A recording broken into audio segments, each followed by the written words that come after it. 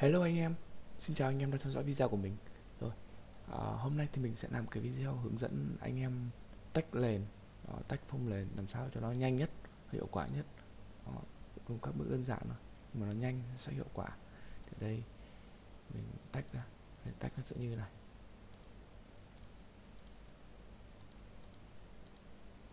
Đó, đó mình tách hẳn ra. Đó, mình tách ra một cái phông nền khác. Mình có thể di chuyển đi này đó, muốn cho mẫu đi động được. Không tách các công tắc cũng tiếc các thứ, nó nhanh gọn. Rồi như mọi khi thì tốc mình vẫn để dưới phần mô tả cho anh em tải vòng nhé ở đây, ok, mình sẽ mở tốc vào. Làm lại từ đầu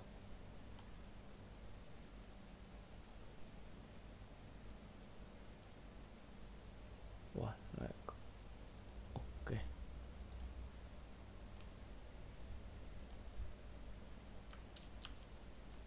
rồi ok. Ở đây stop của mình thì đang ở phông nền trắng. Rồi ok đầu tiên mình sẽ chọn Maricua tool này. Rồi Đấy, các bạn dùng ngữ giữ phím shift cho mình nhá. Shift này. Để chọn vùng chọn tên vùng chọn này.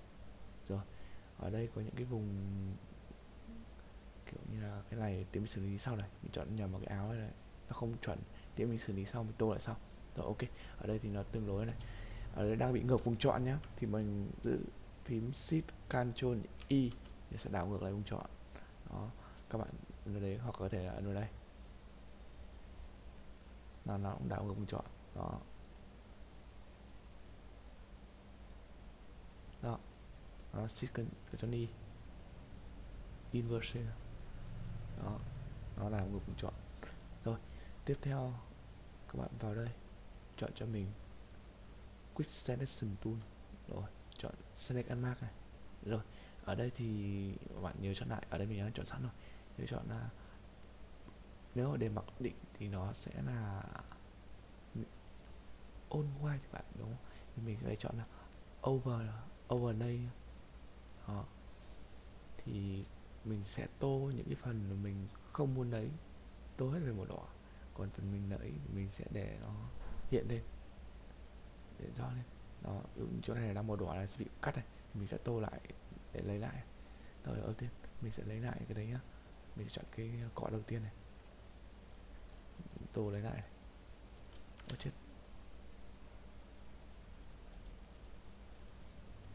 Tô lấy lại cái này đã. Rồi, ok, lấy lại được cái chóm rồi. Rồi, mình sẽ chọn cọ tiếp theo này. Là cái cọ này mình sẽ để xóa trắng này xóa những cái trắng này. Những cái đường lỗi này.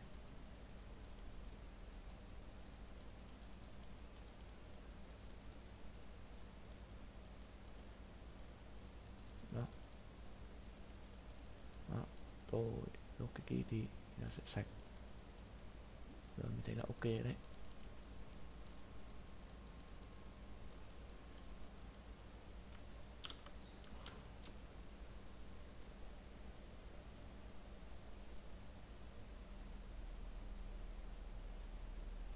Ok enter này.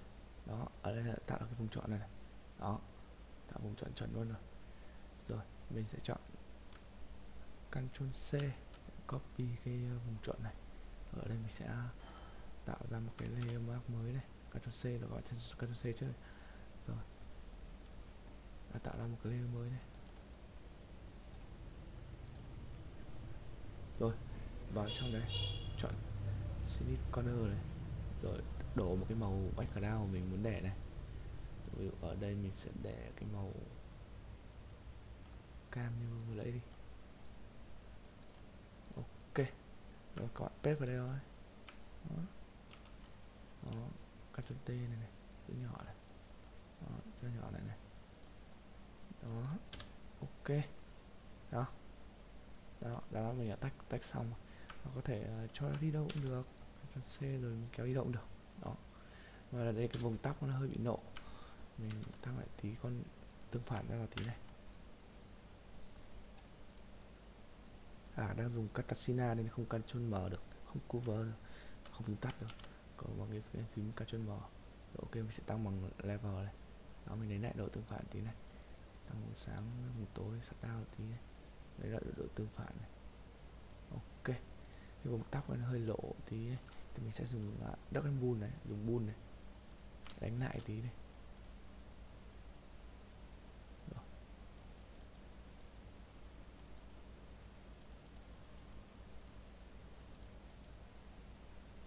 Ok đó vậy là xong. Vậy là mình đã tách được cái người mẫu ra khỏi cái phông lên màu trắng ở bên mình cho vào màu dị được. Đó ví dụ ở đây em không thích màu là cam này anh em có thể chọn màu xanh nữa thôi. Đấy, màu xanh thì đúng là kiểu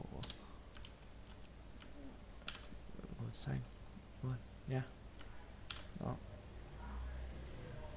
Tóc thì xử lý lại. Đó đó, có thể ghép mỗi bất cứ một cái background nào. Ông ghép, các ông ngồi cạnh mẫu cũng được. Đó. Đó. Rồi, ngoài cách tách vừa nãy thì mình còn một cái tách bằng cái tool này nữa. Đây mình có một cái đó ở bên đây tự chạy tự tính toán. Đó, tách lên cho mình. À. Chưa có điện. Đấy. Ok. Đó vậy là mình tách được ra rồi. Bây giờ mình sẽ Ctrl C này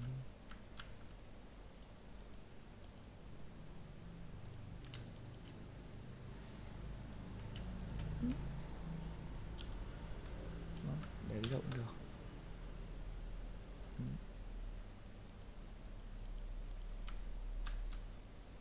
tạo ra một cái ờ,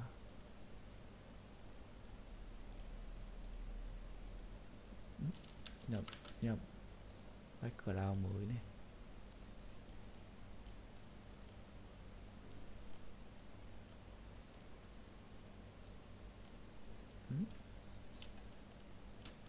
Đó. Cái điều là tách bằng cái tool này thì nó hơi mờ. Nó nó mờ hơn tí thôi. Mờ hơn.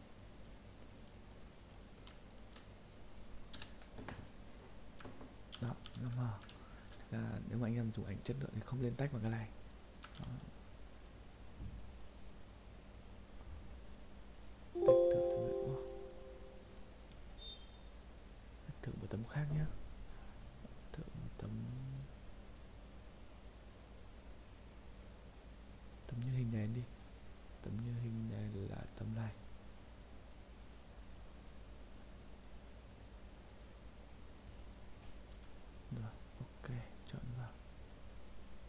Loát một tí. Ok. Remove background đó. Ok. Dạ, một bức ảnh chất lượng hơi kém. Anh em muốn kiểu chất lượng tốt thì bị mất tiền. Đó, các bạn này mất tiền thì nó mới chất lượng tốt được. Không thì nó kém lắm. Nó hơi mờ. Nó chất lượng thấp mà. Nó tách nhưng mà tách cho mình ví dụ mình ghép nghịch, ghép chơi thứ thì được còn để mà làm ảnh phóng như cái thứ thì tốt nhất là nên làm cái cách như vậy của mình. Đó, không nên dùng cái tool này. Ý, hoặc là làm nghịch nghịch này. Ý. Ờ chết chết chết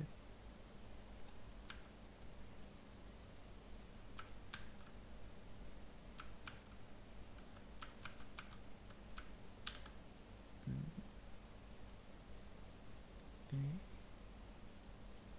ý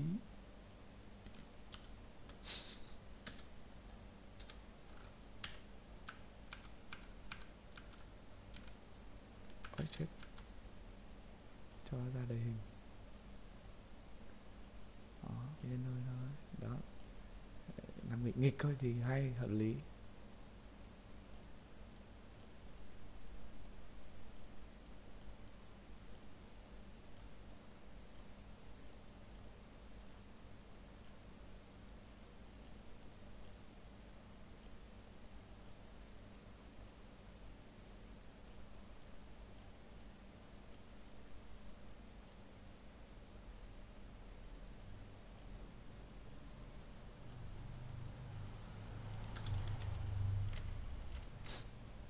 Nghịch phết đấy.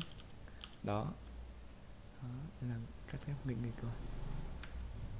Thì dùng cái tool này, còn không thì lại dùng cách như vậy của mình ấy. Tất nhiên nên dùng cách như vậy của mình thì cái chất lượng chất lượng hình ảnh sẽ tốt hơn. Đó. rồi, video của mình đến đây là kết thúc. Nếu đây là lần đầu anh em xem video của mình thì cho mình một subscribe kênh nhé. Rồi, xin chào hẹn gặp lại anh em ở những video tiếp theo. Bye bye.